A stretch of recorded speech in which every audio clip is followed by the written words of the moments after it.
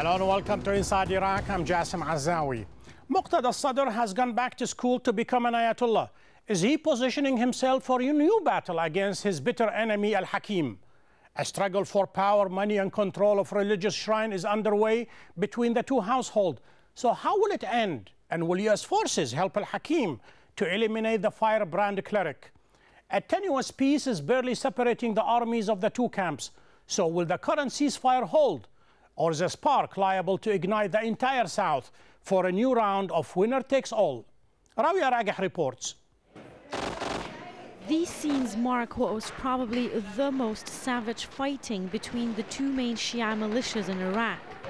The clashes last August in the holy city of Karbala during a major religious festival left more than 50 people dead and up to 300 injured. Three days later, Muqtada al-Sadr called for his militia, known as the Mahdi Army, to put down its arms. One month later, he signed a pact of honor with his rival Shia leader Abdulaziz al-Hakim. All along, it's been a turf war between Sadr's Mahdi army and al-Hakim's Supreme Iraqi Islamic Council with its military wing, the Badr Brigade. But how serious was their reconciliatory move?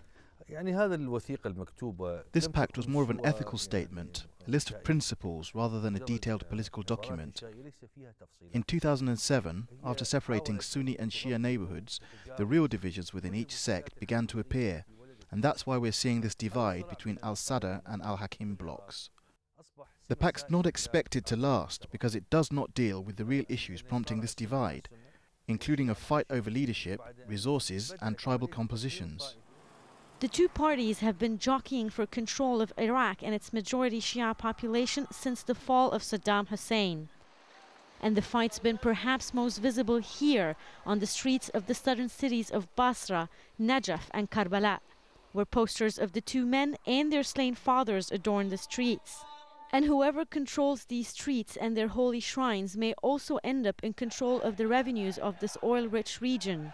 It's a high stakes power play. We're talking about two very different agendas here. Al Sadr has a very clear stance against the American presence in Iraq and other issues. Meanwhile, Al Hakim's bloc has supported and cooperated with the Americans. It's also a staunch supporter of federalism. This clash in ideologies was reflected on the ground and politically.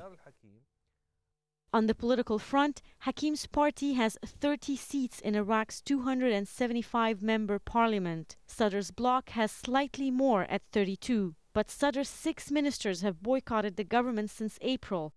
And in mid September, the fiery cleric also pulled out his MPs protesting the performance of Nour al Maliki's government. Today, Sadr's followers face arrest as security forces, mainly loyal to his rivals, continue to pose a threat.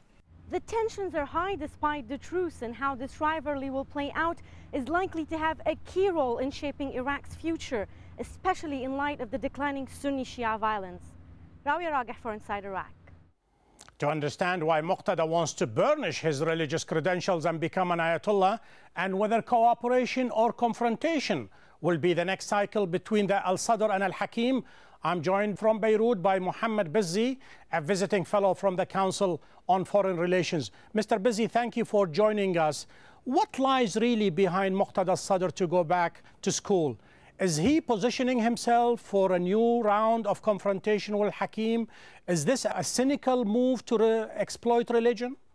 I would say it's a pragmatic political move um, to burnish his religious credentials, as you said, and also to prepare for a new round of confrontation with Al Hakim and, and his political party.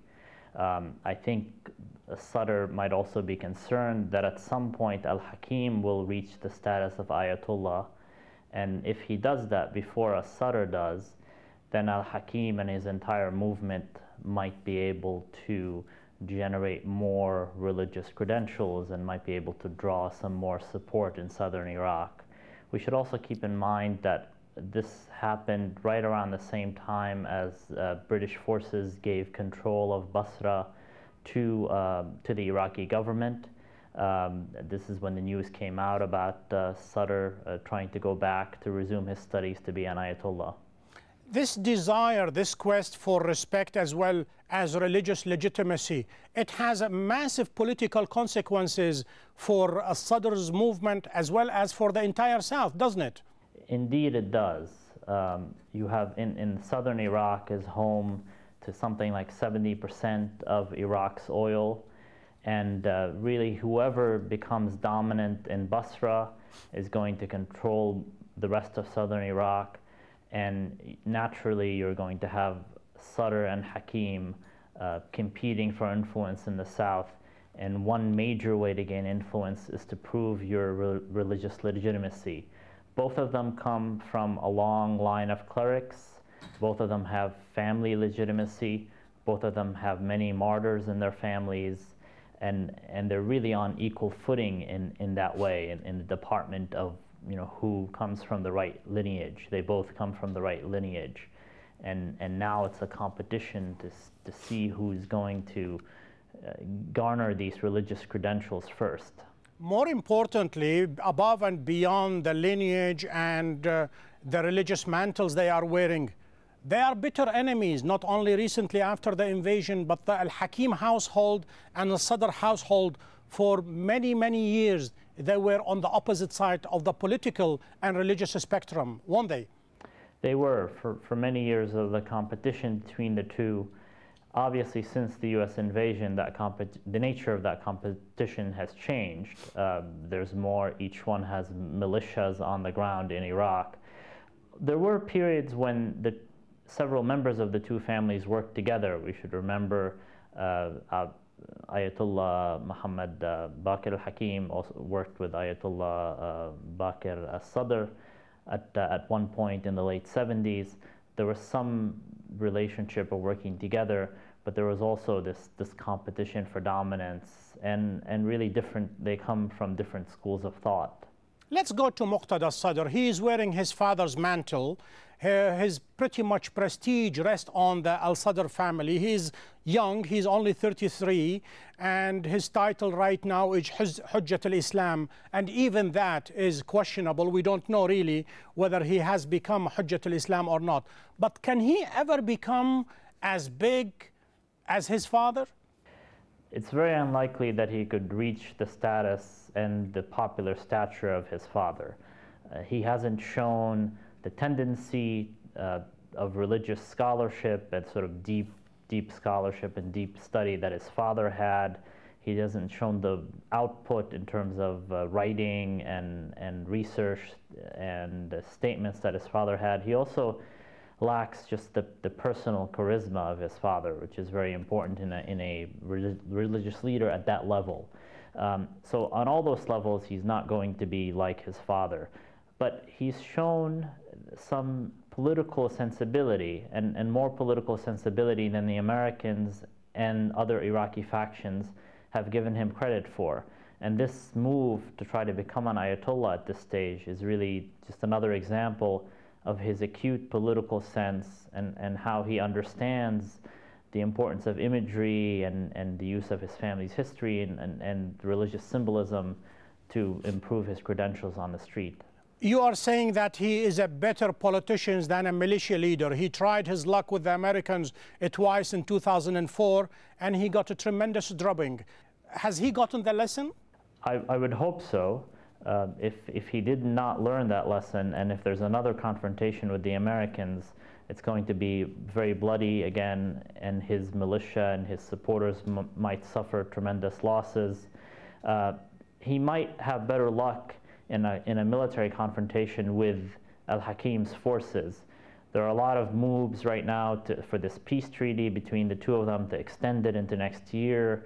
Um, you know, there, there, there's a move to prevent this intra-Shia fighting, but he has shown more political skills than militia skills. I mean, his, his skills at participating in the parliamentary elections at the end of 2005, uh, the skill that he and his supporters showed in helping elect Prime Minister al-Maliki and in becoming one of his important bases of support, Prime Minister Maliki really owes Sadr for, for his election and, and that just showed tremendous political skill. Let us examine his luck and his possibility of uh, uh, whether he will end up on top against Al Hakim forces.